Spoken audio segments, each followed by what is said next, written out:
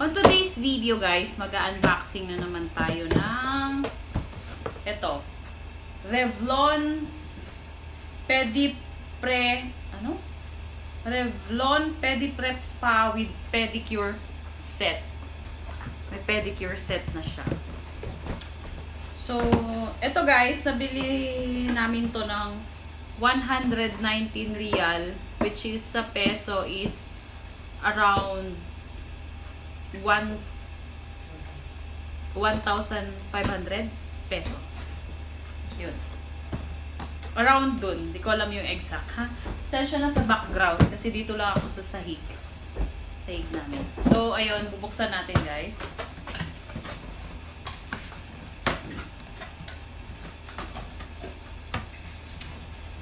So, ito yung mga ano niya. Mga laman. Meron siyang bubble strip, pedicure foot rest. Ito.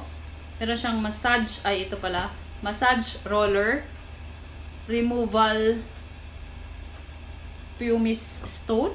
Ko alam kung tama ba yung basa ko. And then waterproof two-touch control. Thanks. Tapos ito, Acunode massage pad and Acunode basin Acunode. Nakaturo siya dito. Ito niya.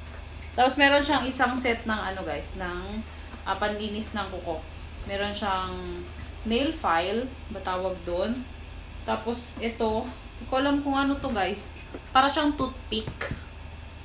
Tapos, number 7 is nail cleaner and cuticle pusher. Meron siyang number 4, cuticle scissors. The number 1, storage pouch. The number 5 is toe separator. Ito. So, open natin.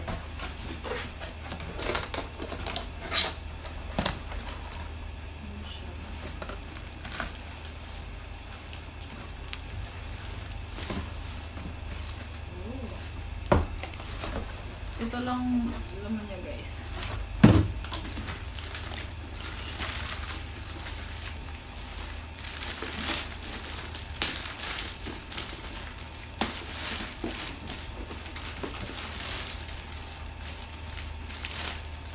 Tcharam! Ito siya. Meron siyang, ito yung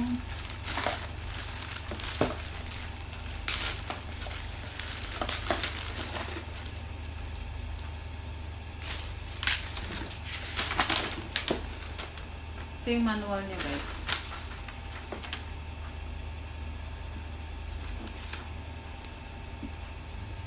The water level indicator on the inside of the footbath maximum filling level of approximately 1.9 liters should not be exceeded, sabi niya. Make sure to switch to sure switch is in the off position. Place the appliance on flat level solid floor. Ganon. Basta yun na yun guys. Ito siya. Tapos Arabic sa likod. And then, ito yung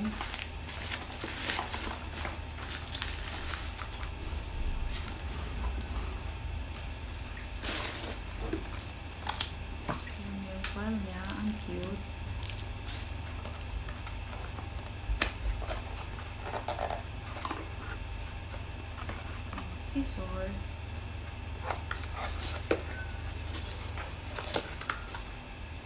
Brush. Ang cute ng kulay niya guys. Oh. Dark pink. And then, ah, ito pala guys is dito. Dito siya. oh.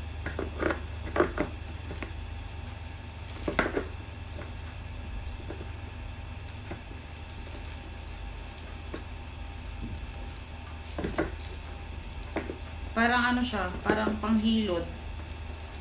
Panghilod na sabon. Yan, tapos meron siyang separator.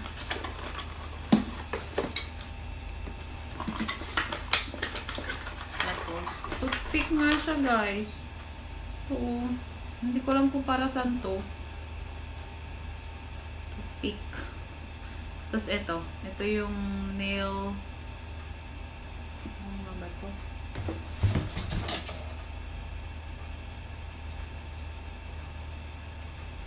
Nail cleaner and cuticle pusher. Ito. So, yun lang.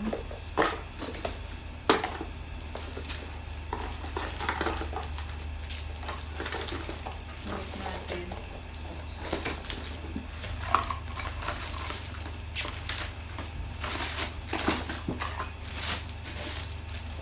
Tapos, yung ka... Vault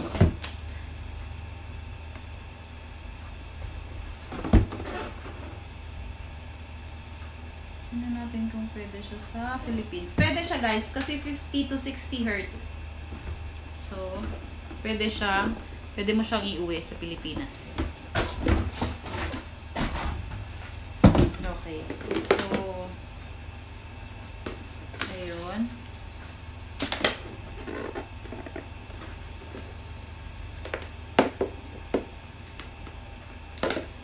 Hindi ko siya matetest guys kasi namamaga yung ano ko yung hinlalaki ng pako dahil sa ingron so hindi ko siya maano hindi ko siya magagamit pa ngayon. So ayun lang pinakita ko lang kung ano yung laman niya. So ito siya. Yung cute niya guys.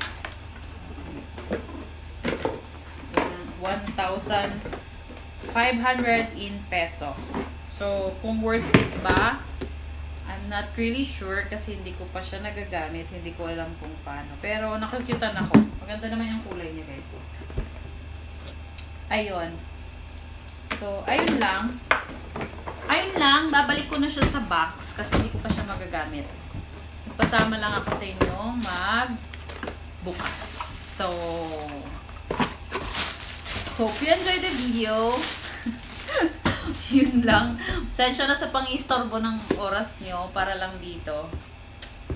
And, yun. Next time, ano natin, try natin siya. Ngayon kasi talaga guys, namamaga yung hinlalaki ko. Sige, hindi, huwag na natin ipakita kasi mad- madumi din yung talampakan ko eh. So, ayun, hindi natin, hindi ko siya matatry. Hindi ko mailalagay yung paa ko, hindi ko siya ma-feel. So, useless lang din kapag i-on ko siya, lalagyan ko ng tubig. So, ayun lang guys. Uh, sa mga gustong bumili, yun yung laman niya. And hope you enjoyed the video. Please don't forget to like, share, and subscribe. Keep safe everyone.